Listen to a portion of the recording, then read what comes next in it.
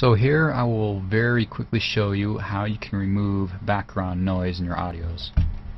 Here in Sony Vegas, you can click record and we'll start recording. Hello, this is a test. This is a test. That's all. All you have to do is come into here, this track right here, track, track click that, and the key is track noise gate. Move this and we'll start to reduce that, that background interference. Hello, this is a test. Okay, let's remove some. Hello, this is a test. Remove a little more. Hello, this is a test.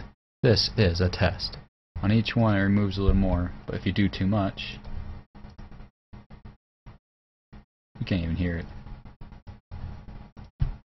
Hello, this is a test. This is a test. Yeah, see? Hello, this is test. This is test. So you don't want to remove too much. You just kind of work with it until you get just the right amount of interference without removing too much audio. And that's all there is to it.